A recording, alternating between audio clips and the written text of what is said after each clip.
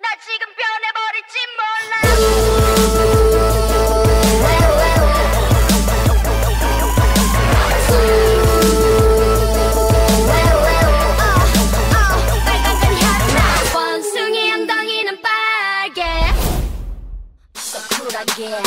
더 핫하게.